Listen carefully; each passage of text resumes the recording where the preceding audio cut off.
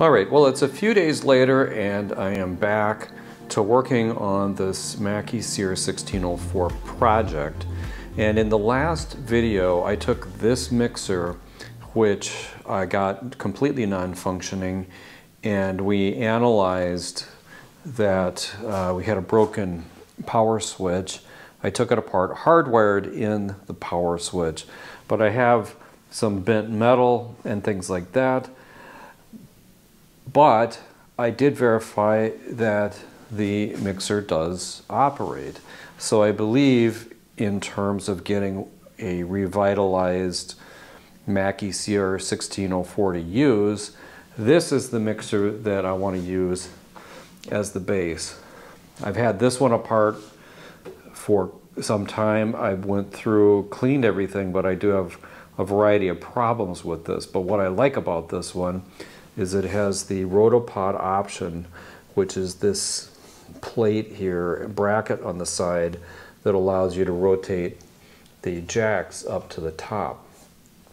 The 1604 was interesting in that you could do that. I mean, that was an end user modification where you could buy this bracket and you could also rotate to flip the whole jack field, the whole pod, this back pod section you could flip it underneath here. It would be quite tall standing up that way, but that would give you, I don't know how many rack spaces that would be, but it would reduce the amount of rack spaces that you'd need to maybe eight or something like that for this whole mixer. And so it was very flexible. There was other options to get a mixer mixer where you could connect two of them together. There's even a, a system called OTTO to add uh, MIDI automation to this, which was really interesting at the time. So this one has bad electronics. Maybe they could be fixed. That's not what I'm after right now. What I'm after is one good mixer. And it does have, you know, the good power switch and the sheet metal is good here. So the way I'm going to get started on this that I'm going to do next is I'm going to take this mixer apart and I'm going to take all of this stuff off and get down to where I've got this metal freed up. I will also need to get this uh, switch and this jack out of this mixer as well. So that's the next thing that I will be doing. After that, then we'll take this one apart this one needs general service. We need to clean everything on here, get the masking tape or sticky tape off of this, and then clean all of the faders. We also need to do some deoxit on these as well. There's a lot of stuff spilled on here that we want to clean off. But that's not what we're going to do now. The first thing we're going to do is disassemble this one, get the pod off of it, and then start to take that pod apart and keep track of all the nuts and bolts. Crazy thing about this one here is you can see that there's a variety of screws in here that just don't really look original. If I look at this one, I took a few of these out because I took the rack ears off, but if you look at the originals, we have these more of a panhead style black screw on here, but on here we've got, you know, something, these look like more hardware store styles. I don't know if they changed those screws. It just looks like maybe a mismatch, like somebody's worked on this before and put in some different screws. So nonetheless, this is our donor mixer at this point. This was 50 bucks. I think um, we'll get 50 bucks worth of parts off of here there we go. In the next uh, segment here, in the next time lapse, I'll disassemble this.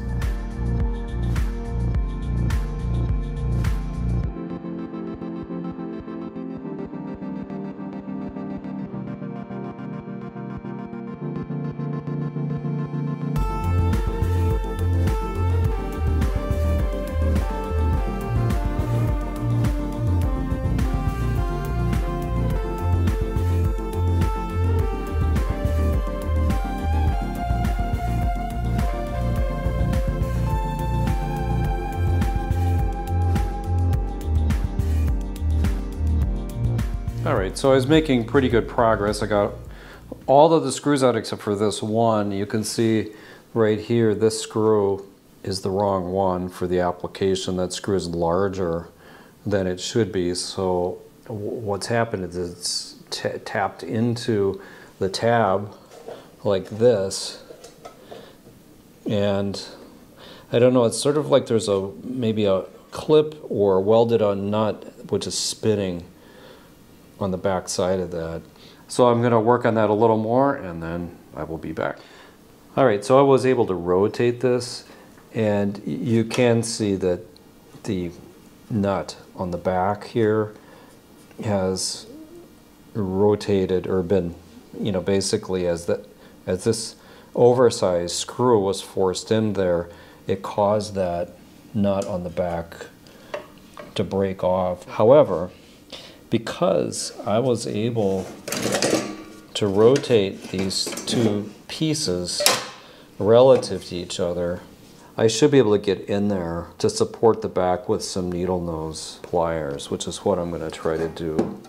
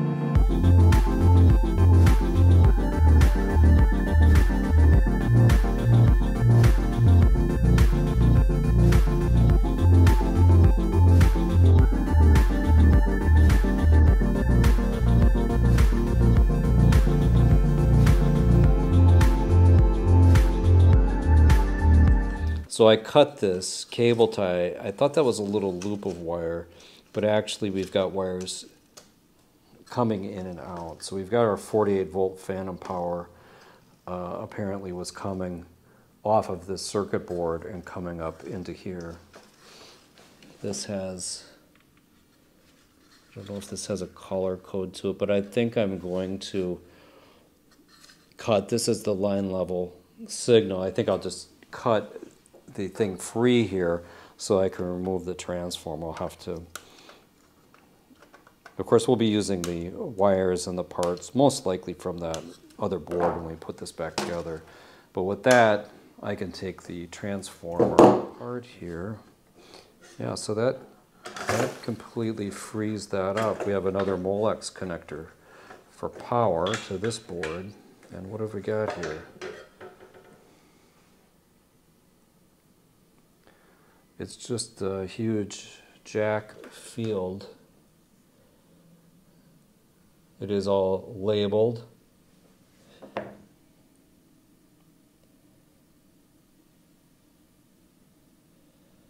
Interesting. So there's a lot of diodes. Down here we've got some transistors. We've got these packages, these SIP package, probably op amps down in there. Very simple. There's, I thought we'd see a lot more circuitry on here for the mix bus and things like that because there's not a tremendous amount of circuitry on the other board. Well, that's all very interesting. But the main point is we've now liberated this piece is what which we need for the uh, for the project here. I'll take the power supply out. It's uh, extremely dusty, so I'll clean that up and obviously I have some problems with the nutserts. These, these holes here are self-tapping. This appears to be made of aluminum, so it's quite lightweight now that I have it apart. But nonetheless, these parts can stay on here. I was thinking about taking those off, but I don't need to take those off. I just have to solder in the connections when I transfer the board. So what I want to figure out here is if I should pull these knobs up, like grab them with pliers or something. So I'm going to experiment with that so that when I take the other one apart, I know what to do. So I'll clean up a little bit here and then we'll be back and decide what our next step is. Okay, I removed the power supply board, so I thought I'd take a minute since I have it out of there to show you what this power supply board is. And it was held in there with some nuts. You could see there's welded on or, you know, somehow welded on studs in there that hold that board in place. These two pads here, that's some solder, um, not solder, that's some, you can see there's some heat sink paste on those. Also looks like a little bit of an insulator as well, so I need to make sure I get that back together correctly. There's a little piece of plastic on there and the heat sink paste. But anyway, um, another typical linear power supply from that age. Not particularly complex, I suppose, but it, it does show that we have an 8515 and a 7915. So basically we're getting plus and minus 15 volts out of that to run this thing. And then over here you'll also see that that this this shows plus minus and the 48 volts for phantom power. So this is what powers up basically the, the whole board plus providing 48 volt phantom power.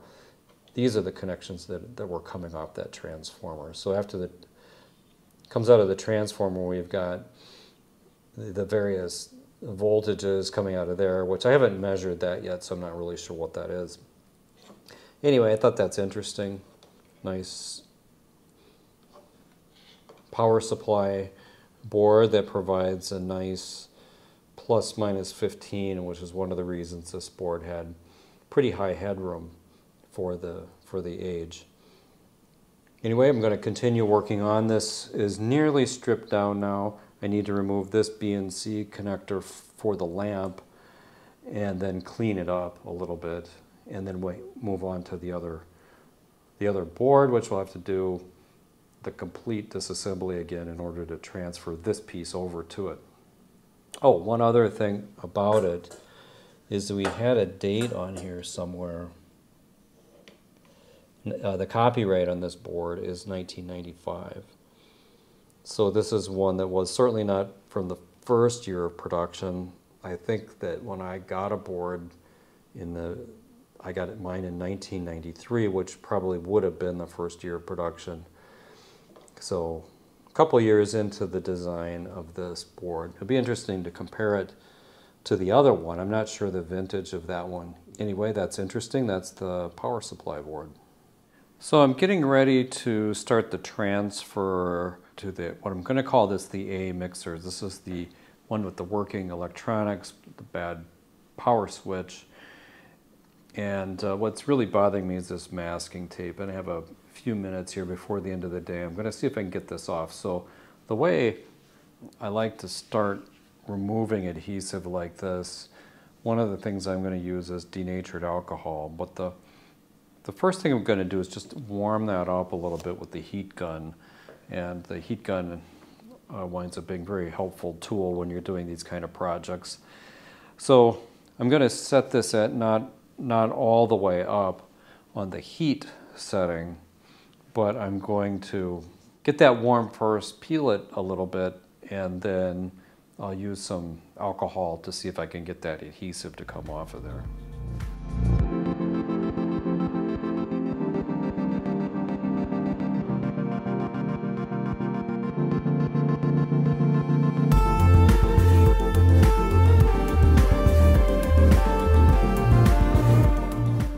That uh, came out really nice. I was able to get that off with just a little bit of heat, some denatured alcohol, and a guitar pick as a scraper. I don't want to overly aggressively scrape on this area or could, can easily scrape through the paint, which I've seen on a lot of these where somebody you know tries to use uh, something metal to scrape. I'll be cleaning that more. I think the next thing I'm going to do here is I'm going to try to true up. These are all skewed, you know, the faders are bent.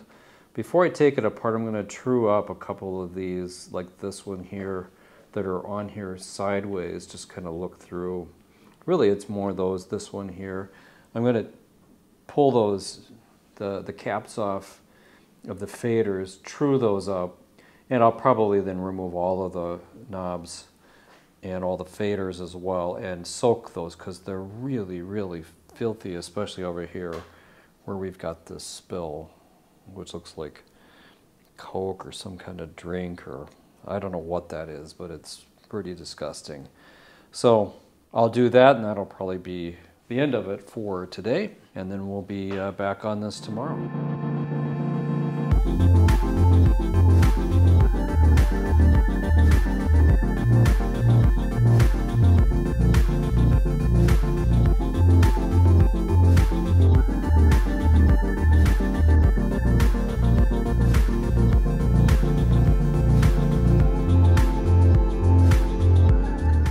Right, so I'm back. It's the next day. I took all the knobs and I soaked these in dishwashing soap and rinsed them in a, a colander a few times and um, they've come out really, really nice. Everything is brightened up. They look almost like new. And if you remember, they had Coke or something like Coke or coffee spilled on them. So these are looking great. So that's the good news. I've also done a little bit more work on the mixer, which I'll show you. So I labeled these, this A and this is A, because I have two of these CR-1604s and the parts look similar and I was starting to get confused. So I've now labeled these so I can keep track of what each of the major assemblies is coming from. So off camera, I took apart the pod for the A mixer. The A mixer is the one that I'm going to use to actually get this thing going. The B mixer is donating some of its parts to make this thing work.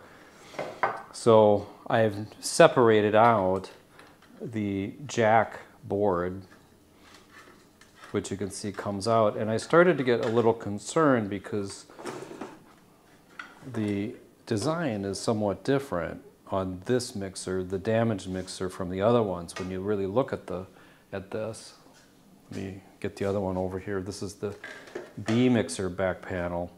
You can see that a lot changed over the couple of years difference between these two mixers. The position of like where the serial number is is different. Just the appearance of the graphics has changed somewhat between these two boards. So I also found out the alignment of some of the screws has changed. So I was starting to think that well, maybe these things won't fit together. But anyway, I have determined this is the, the bad board. Let me get the, the parts aligned here. This is the one with the damage, so I want to transfer all of the electronics, the transformer. You'll notice the transformer between the different model years is quite a bit different. You'll see this this one from the the worst board is is a little bit smaller. Anyway, to keep things consistent and avoid trouble, I want to transfer to keep all the electronics together, the power supply. They may well be interchangeable, but since I just don't know, but I did find that this this is our good jack plate, and this is from the bad mixer, and this does just drop in, it just fits in there. I'm losing a few of these lock washers, which I'll have to get lined up. So I will have no problem with this. I was going to transfer the good cover plate. This is from this board, it's less the, the one that goes with the B board is less damaged. However, the end plate doesn't line up for the, because the transformer is different, they changed the mounting for the transformer. So between the B board and the A board, the holes are different. So that means I need to keep the one that's bent here, but this is something I can easily just straighten out. There is a little bit of a difference on the other end of it, is that I guess in later model years they added a screw hole here where it didn't exist on, on the earlier models. So I'll use this plate from the mixer that goes with it. I'll straighten it out and then I'm going to use this.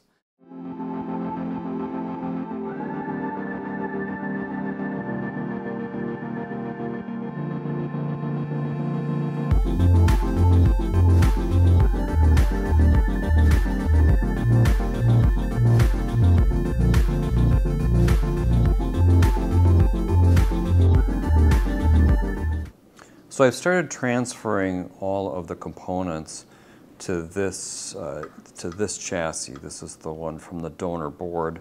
And I've resoldered the connection. This switch came from the donor, I mean this switch and this power input jack came from the donor board. This is the original I believe. It doesn't really matter, but anyway, I've rewired these up exactly as they were on the original. One of the things that I realized from the one off of the broken board is that the fuse is blown on this because I was doing some metering just to make sure I was hooking this one up right. One of the interesting things about this type of power jack is there's a fuse down in here, which if I you just get a tool of some sort up under this little lip and you can pop that fuse out, which is how you replace the fuse if it's blown. And on the bad one here, this fuse that's in here, which is like a, a, a kind of little fuse, this, this fuse actually is blown from that.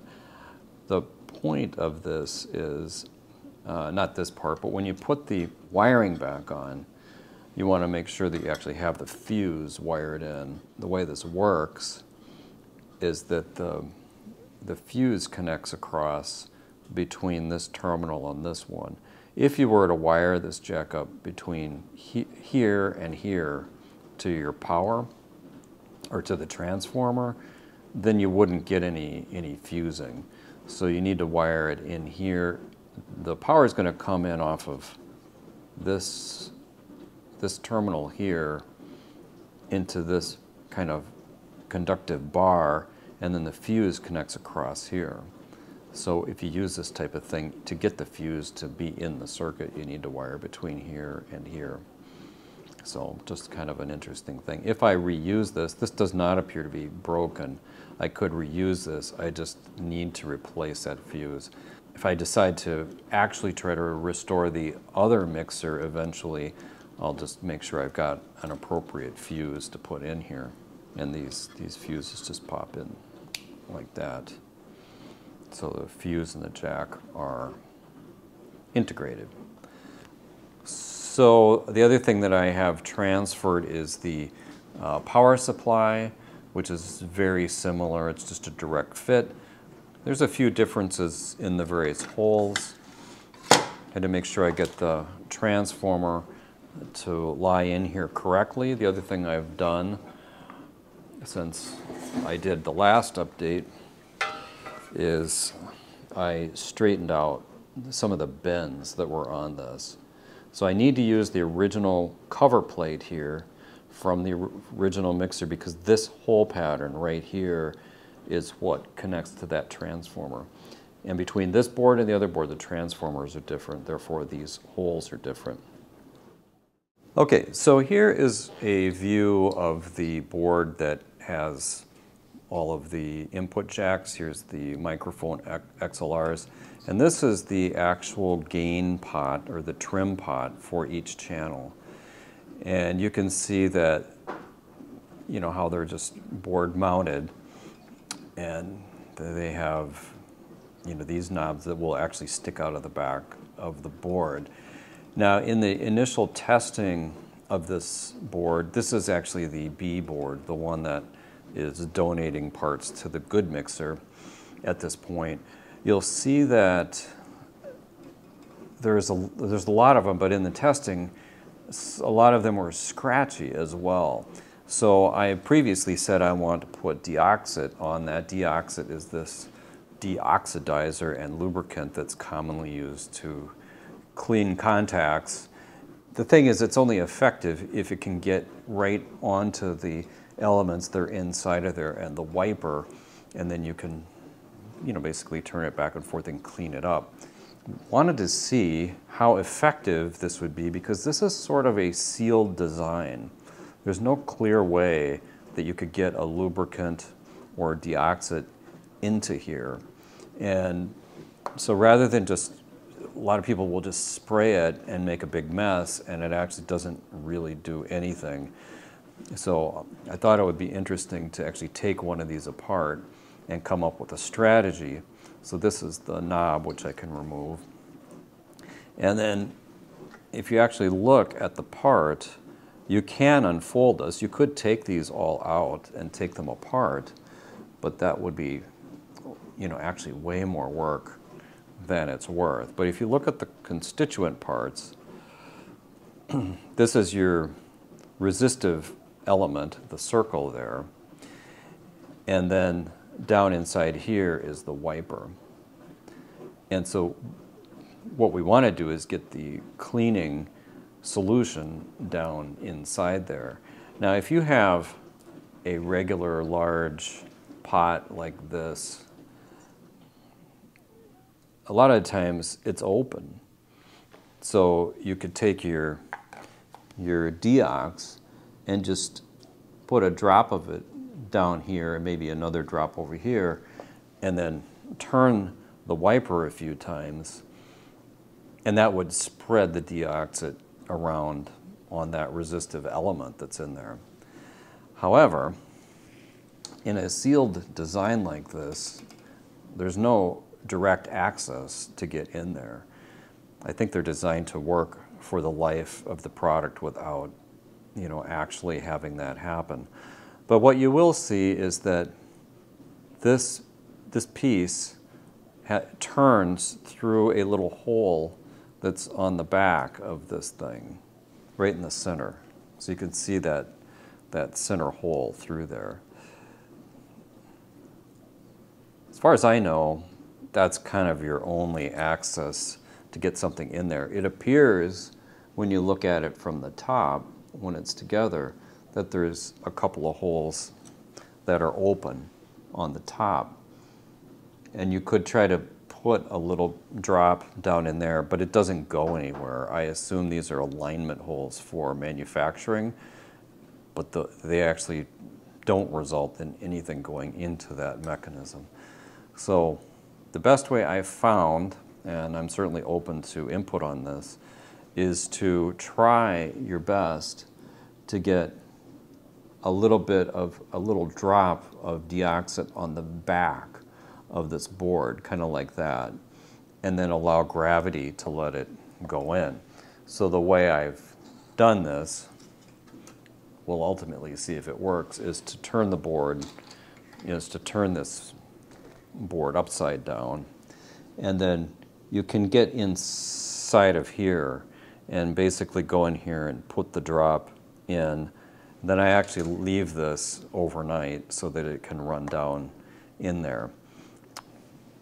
How effective that is, I'm not sure, but it appears to me that's about the only way to handle it. So once you've got it in there, you can, maybe the next day after it's had a chance to seep in, then you can exercise these knobs and work it in there.